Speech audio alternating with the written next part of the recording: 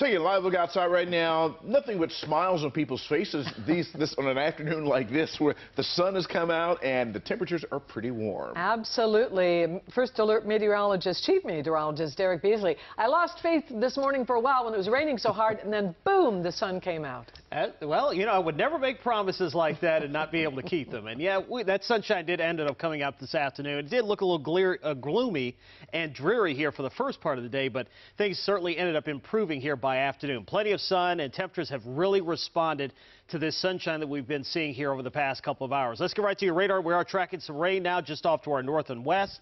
And this is just a little small batch of showers that is trying to make its way through the region now across parts of Frederick and Carroll County up into also sections of Baltimore County as well. This is going to continue making its way east-southeast here. So Westminster, a little bit of rain there, Taneytown, and this is going to continue tracking off towards the south and east. So there's more upstream from there. And it's out of the question. A couple of showers could sneak into the region here later on tonight, but it looks like by far the better opportunity for rain will come during the morning and early afternoon hours on your Friday, and it does look very wet during that period.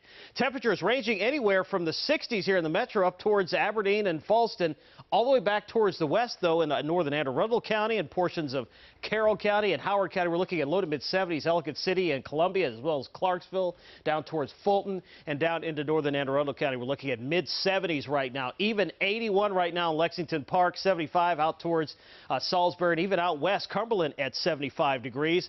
I'll back out of the way so you can see how this is going to play out. Now, temperatures are going to stay very mild here for tonight. By midnight, only down to around 68 degrees, believe it or not.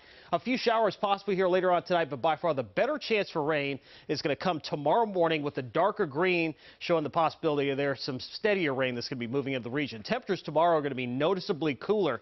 We're only going to be in the 50s throughout most of the day tomorrow as opposed to the 70s that we're seeing right now. And there's more where that came from because we have more opportunities for rain coming in on Saturday as scattered showers will continue developing across our area with this front. This is going to kind of hang around the region for a little while. You see notice here through Friday morning, continuing chances for rain and into the afternoon.